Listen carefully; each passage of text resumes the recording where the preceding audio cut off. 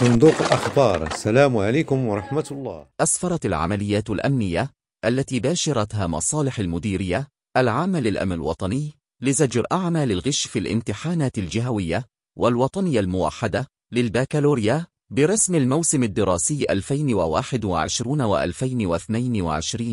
عن ضبط 573 شخص على الصعيد الوطني من بينهم 468 مشتبها فيه من أجل ارتكاب أعمال الغش والباقي يشتبه في تورطهم في قضايا تتعلق بحيازة وترويج معدات معلوماتية تستعمل لأغراض الغش المدرسي ونشر محتويات رقمية على الأنترنت. وذكر بلغ للمديرية العام للأمن الوطني يوم الأحد أنه بخصوص التوزيع الجغرافي لحالات الغش التي تعاملت معها مصالح الأمن الوطني فقد جاءت الحالات المسجلة بولاية أم الدار البيضاء في المقدمة من خلال تسجيل 158 حالة.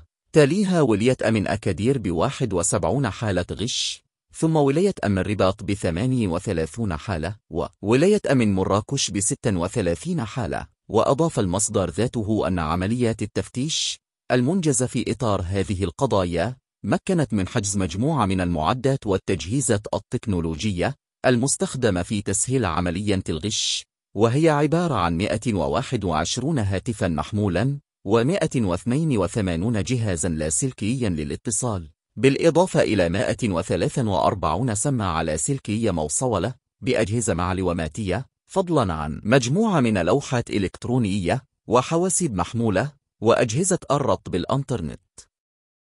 لا تنسوا الاشتراك في القناة والضغط على زر الجرس كي يصلكم كل جديد.